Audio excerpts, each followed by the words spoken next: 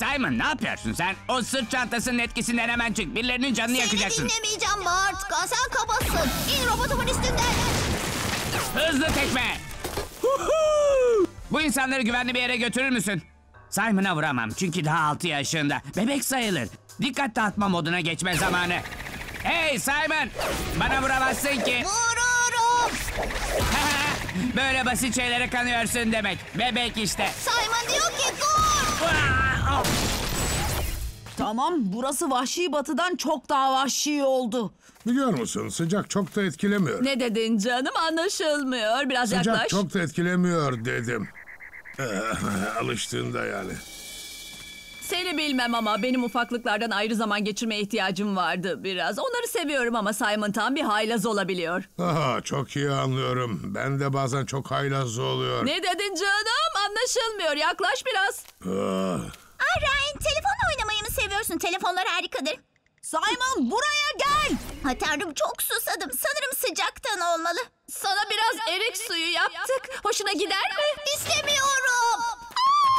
Bana bak dostum, bu düzgün kasaba insanlarını rahat bırak, duydun mu? Bunu kovboy gibi halledelim, hadi. Kemen çek. Beni rahat bırak.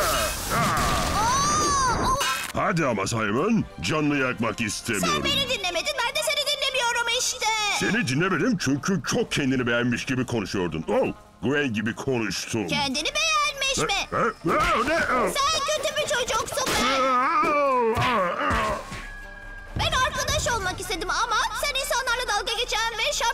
değişim saati olan bağırsan bir çocuksun. Hapı yuttuk. Ah olamaz. Manzaraya bak. Bir yudum ister misin? yok sağ ol. Hiç gerek yok. Emin misin susamış görünüyorsun? Ya hayır ben iyiyim. Ben tıpkı bir deve gibiyimdir. Aha öyle olsun. Sadece biraz oturacağım. Ah olamaz.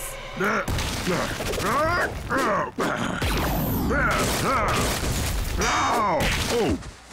Hey Simon, e, insan kafası kaç kilo geliyor demiştin? Şimdi benimle iyi geçinmeye çalışıyorsun çünkü saçma değişim saati benim sırt çantamla yarışamaz. 3 kilo geliyor demiştim. Al, al bakalım. Hey, hey. Sekiz. Hayır,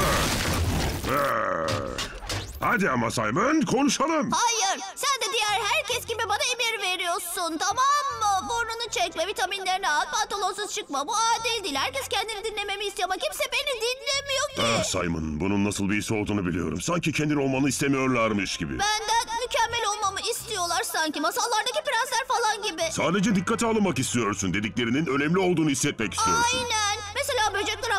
Çok şey Bu biliyorum. harikaymış Simon ama sana tüm bunları sevdikleri için söylüyorlar. Kimse seni dinlemiyormuş gibi hissetsen de bu öfke nöbeti geçirmeni gerektirmez. Bu yüzden bir şehri parçalama artık. Peki ben de sadece seni parçalasam. Olamaz. Yine mi başlıyoruz? İşte ilk dişim böyle düştü. Çok çılgın öyle değil mi? Ah, nereye gidiyorsun Ray?